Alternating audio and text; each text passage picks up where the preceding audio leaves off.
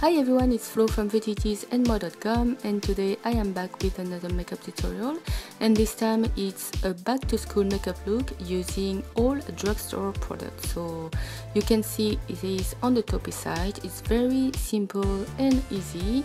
The eyes are so easy to do and also the lips are a little bit on the rosy side. So I hope you will enjoy and let's get started.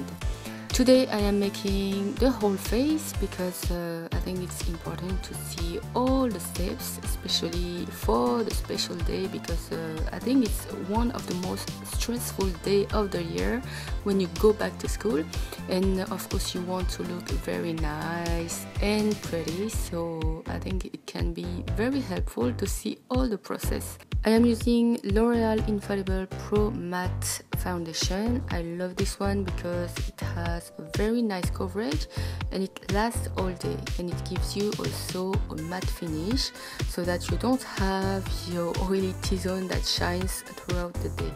I am using also a concealer because um, I have lots of blemishes you know the hormonal acne on the chin so I'm putting a little bit of concealer especially on these areas you can see we have some darkness and uh, I think this concealer is very very nice because it's thick but um, it's also lightweight and it covers my blemishes quite nicely. And I apply the product with the brush like this. And I use my finger but also a brush like this because it's smoother and it doesn't create a harsh edges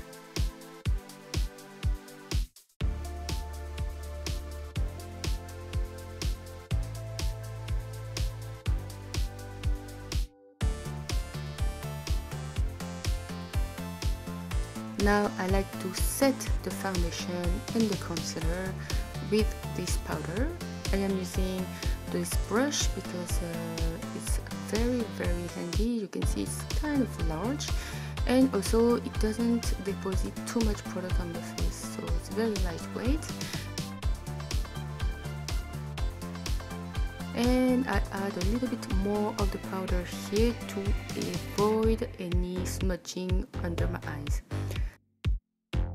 Now I am doing my brows. I'm using NYX Tame and Frame. This is the shade black, but uh, it's not a true black. It's very, very uh, dark, but it's more espresso color, you know, very, very dark brown color. So that's why I'm using it because uh, you can see my roots are totally black.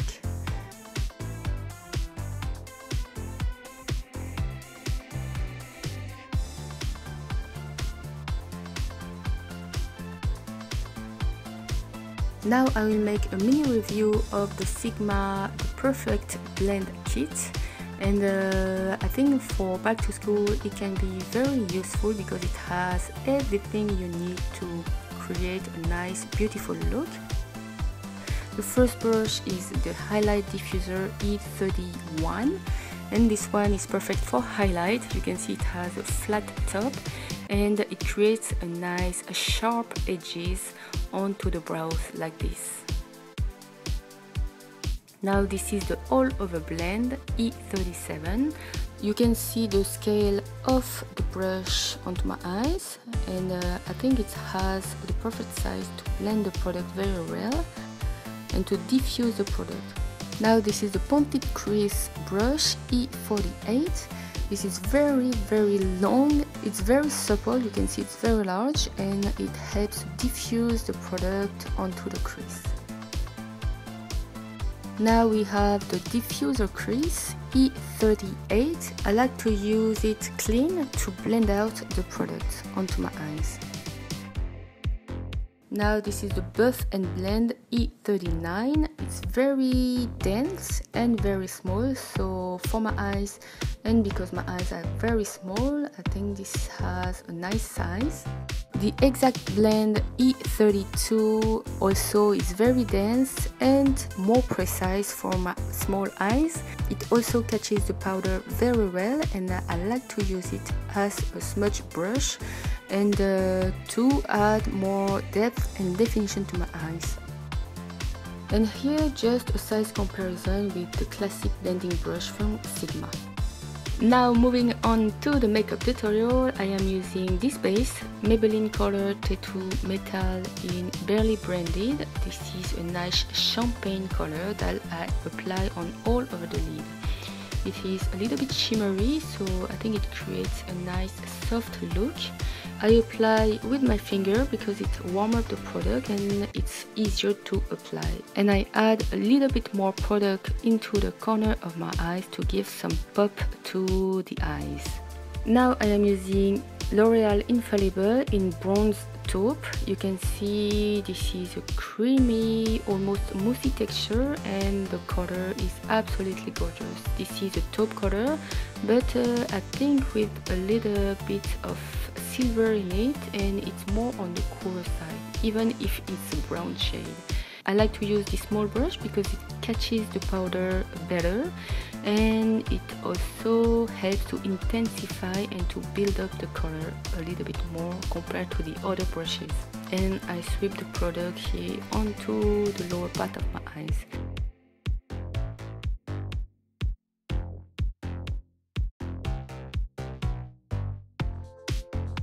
Now I am using the all over blend brush so that I can diffuse the product onto the rest of my lid so that I can buff out the edges.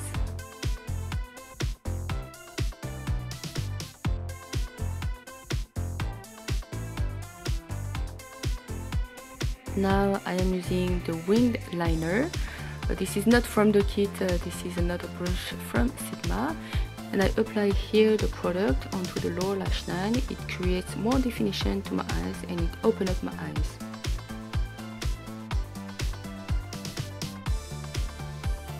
I am using again the exact blend to intensify the outer part of my eyes and also to smoke out the lower lash line. Now I am adding a little bit more product to give more depth to my eyes. Now this is another infallible product and this is iced latte which is a very pretty intense champagne color and I am using the highlighter diffuser brush here onto the arch of my brows like this. You can see it creates some nice edges and uh, I think it's very very convenient and it catches the product very well. Now I am blending the two colors together so that we don't have any harsh line. I am using the same product here onto the inner corner with that brush because uh, it creates a more diffuse look. It's more softer at the same time.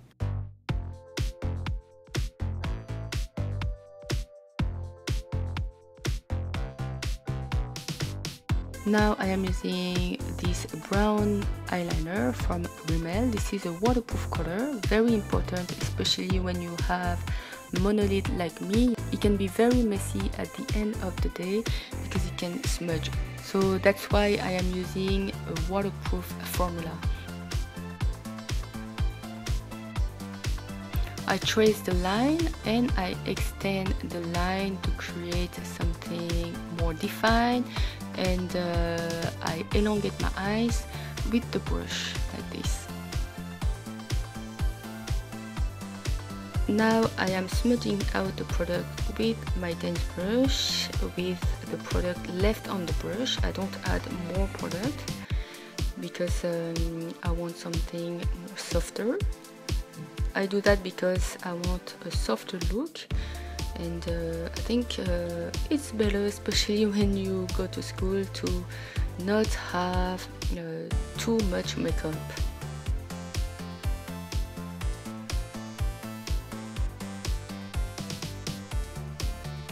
And I'm adding a little bit of the eyeliner onto the lower part of my eyes like this.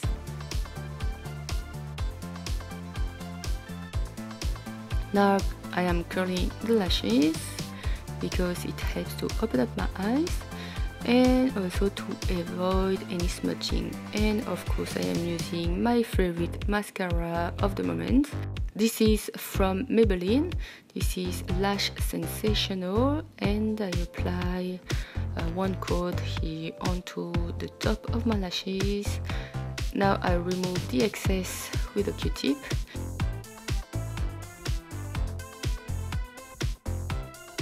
now a little bit of mascara onto the lower lashes because it opened up my eyes also. Now I am using some darker powder that I apply like a bronzer and also uh, as a contouring powder. And I apply the product especially onto the cheeks, the jawline and where the sun hit naturally my face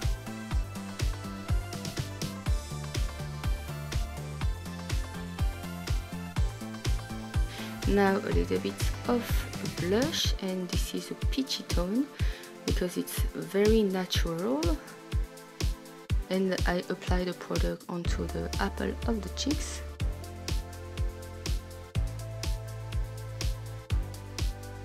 Now I am going back with iced latte that I will use as a highlighter.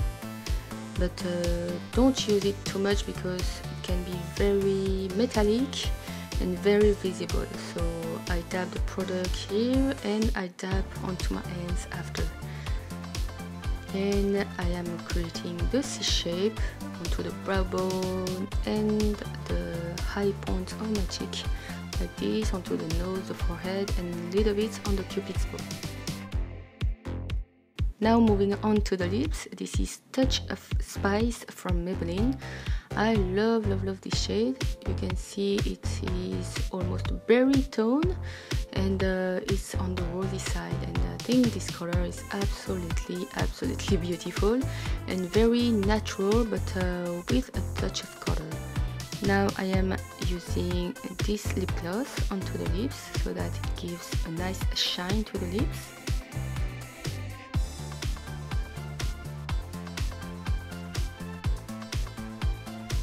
and now to finish up the look I am applying a little bit of powder especially onto the T-zone so that you avoid to be too oily during the day.